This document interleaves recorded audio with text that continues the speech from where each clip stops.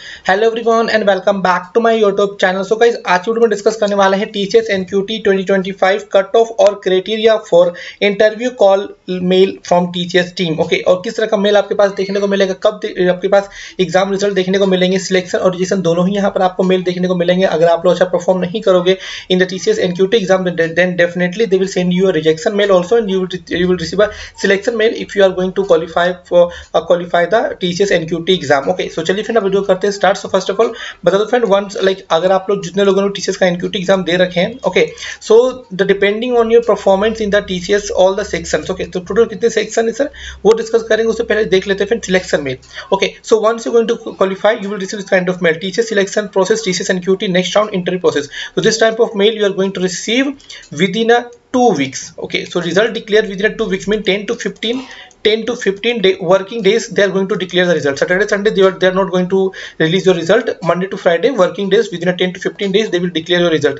and sometimes result pehle bhi aa sakte hain depending on the tcs uh, business requirements and their needs okay सब sometimes result भी आ जाते हैं और ये result जो फिर फेजेस में आपको देखने को मिलेंगे मतलब एक फ़ेज़ में टोटल दो यहाँ पे दो फ़ेज़ आपको रिज़ल्ट देखने को मिलेंगे करेक्ट फ़ेज़ वन में ज़्यादातर लोगों के पास सिलेक्शन मेल देखने को मिलेंगे मतलब कि ये मेल आपके पास आएगा जिसमें कि बोला जाएगा कि आप लोग जो है क्वालिफाई कर चुके हैं इंटरव्यू और आप लोग को अपकमिंग डेज़ में आप लोग को जो है टीसीएस का इंटरव्यू में देखने को मिलेगा और यहाँ पर आपका रोल लिखा रहेगा कि आपका कौन सा रोल में सिलेक्शन हुआ है। प्राइम चाहे निंजा चाहे डिजिटल आपका रोल मेंशन किया रहेगा आपके टीचर सिलेक्शन मेल के अंदर में, ठीक है? और यहाँ पर आप लोगों फिर before they are going to conduct interview they will ask you this kind of thing like teachers NQT five आपको यहाँ पर लिखा रहेगा ट्वेंटी फाइव लिखा रहेगा document with request for verification for prime shortlist then लिखा रहेगा verification for digital shortlist and लिखा रहेगा ninja shortlist so once you receive this kind of mail interview selection process before conducting the interview they will check your document verification also और ये ये पहले भी हुआ था, हो चुका ये मेल तो इसलिए that's I am showing you that you are suppose to receive this kind of मे भी ये मेल आपको बाद में भी देखने को मिल सकता है आफ्टर कंप्लीटिंग द इंटरव्यू आपके पास एक मेल आएगा बट वो मेल का हेडिंग ये नहीं रहेगा वो रहेगा कि please submit your documents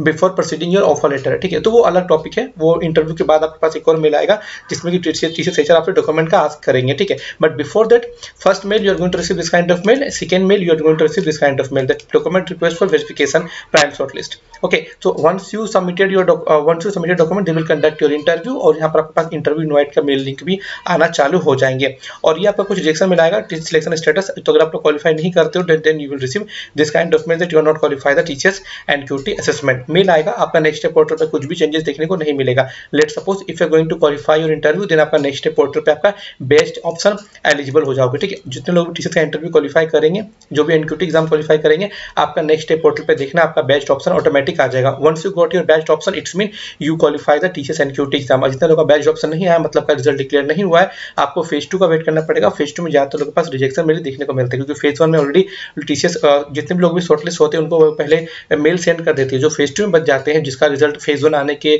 एक या दो वीक के बाद आता है समटाइम ये महीनों महीनों लग जाते हैं तो इन दैट केस आपको वेट करना पड़ेगा।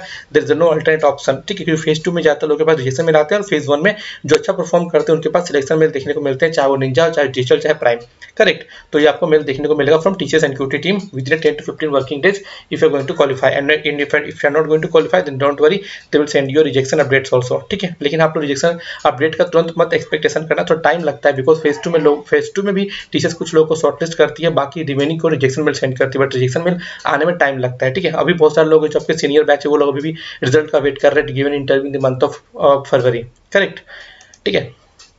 सो so, यहाँ पर हम लोग डिस्कस करते हैं सर कट ऑफ़ क्राइटेरिया क्या रहने वाला है सर तो वो मैं आपको बता दूँ तो यहाँ पर देखोगे टोटल आपका सेक्शन थे दो। फाउंडेशन सेक्शन तो ये केवल ये अगर आपको if you want to only for the ninja ठीक है तो ये केवल उन लोगों के लिए था जो लोग इंटरेस्टेड थे कि सर मुझे केवल निंजा चाहिए। तो आपको निंजा के लिए आप लोगों को बस ये अटेंड करना था।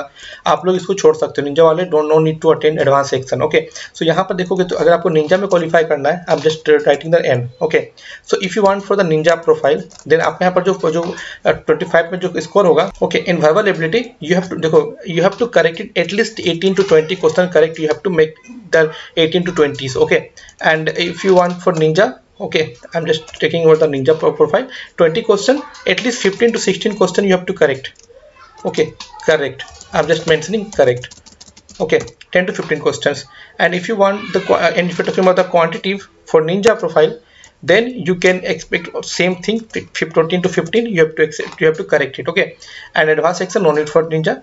And uh, if i'm talking about the digital okay let's suppose uh, digital. So if i'm talking about the digital then you have to attempt at least 20 plus okay?